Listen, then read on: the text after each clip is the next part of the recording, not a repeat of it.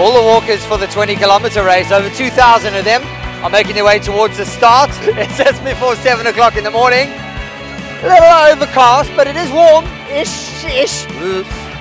And here they come. We're getting surrounded by starters. We better get to the other side of the start line so we can catch the first start of the 2014 East Coast Radio Discovery Big Walk. Let's go and have a look. Make the big walk bigger. Make the big walk bigger.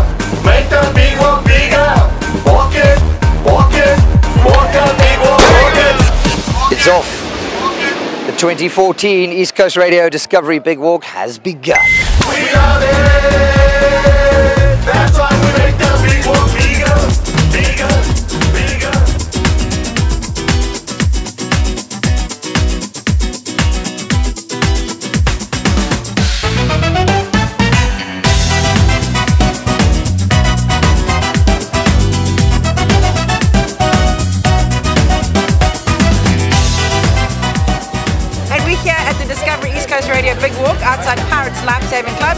What a vibe! It is truly sensational. We've been here since like a long, long time ago when the sky was dark. First time doing the East Coast Radio Big Walk, loving it, tons of fun, looking forward to the 5K, great. Yes! This is the biggest event I've ever been to. I've only been in Durban for a month. I've never seen so many smiling faces, so many colours. We've seen cows walk past. We've we have we've seen real cows walk past with like things hanging uh, over there. Um, best day ever. Absolutely the best day ever. East Coast Radio hashtag Big Walk Durban. Fantastic. Bring it.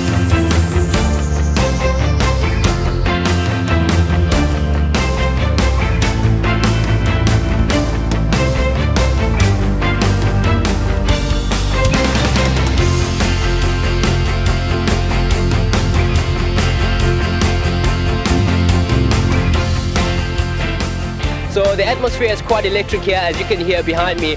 Absolutely awesome. Big Walk Durban 2014.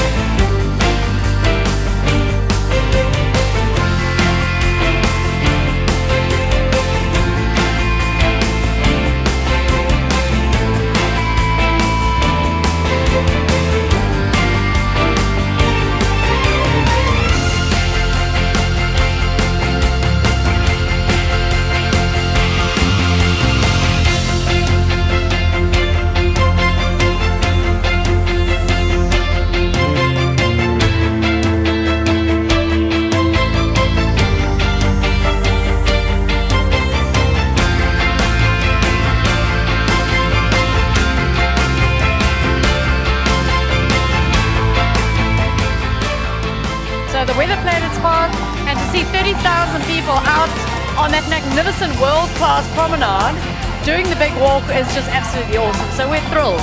I really think, I think you'll agree with me here. The big walk, it really is the biggest advert for like just getting out and enjoying the province. Oh, absolutely. And that's part of the objective of this particular event is to get people more active. You know, the walk's been going for 10 years now. We started it 10 years ago with 800 people participated in the first walk. And this year um, we celebrated 20 years of democracy and it was the big walk to freedom.